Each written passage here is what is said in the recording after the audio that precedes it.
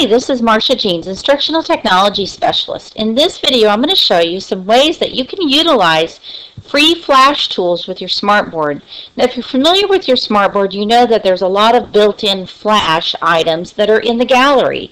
But there's also a whole bunch on the internet that are just waiting for you to come and use with your students. They work fabulous with the smartboard, they're interactive, and kids love them.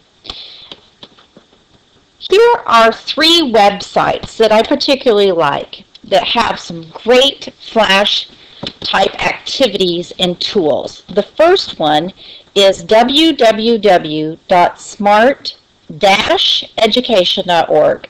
Now this particular site, you will need to create an account before you're allowed to download their activities.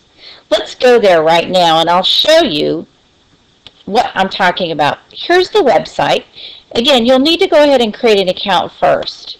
And where you need to go is you're going to should decide if your early years primary or secondary. I'm going to just go ahead and click primary for now because I have a primary teacher background.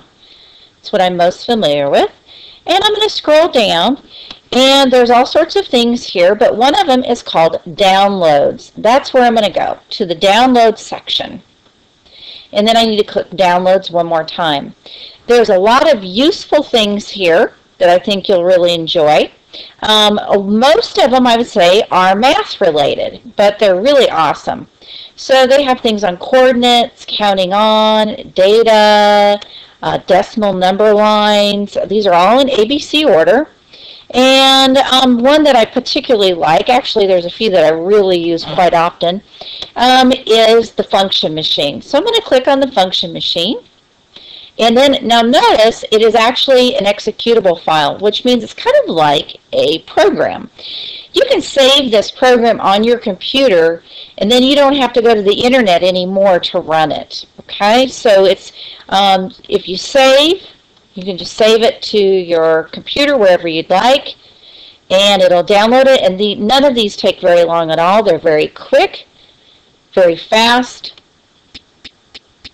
and then anytime you want to run it, you just click run, run again, be agreeable, and voila.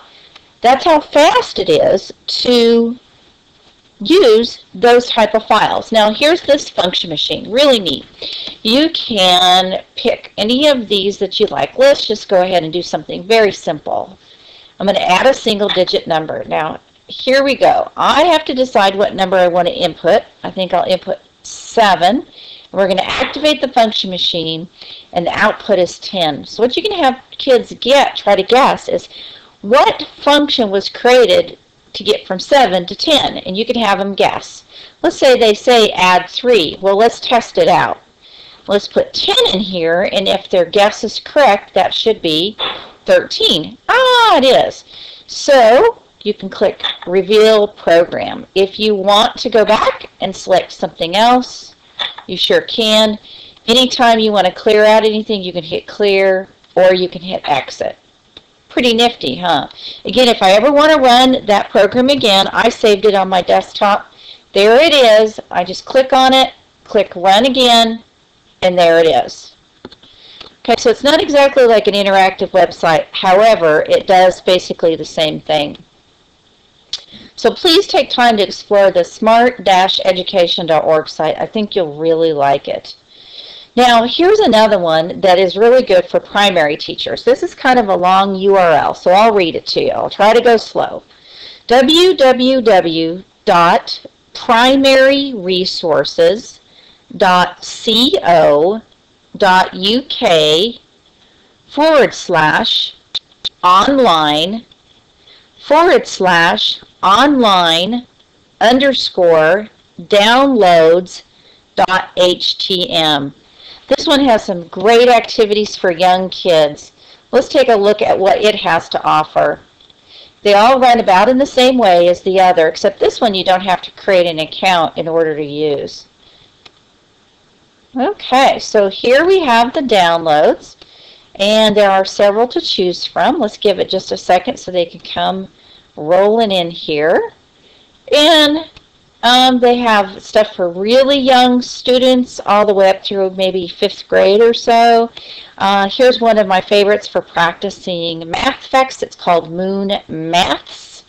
Again, it's the same idea. I can save it to my computer if I'd like, or I can just click Run.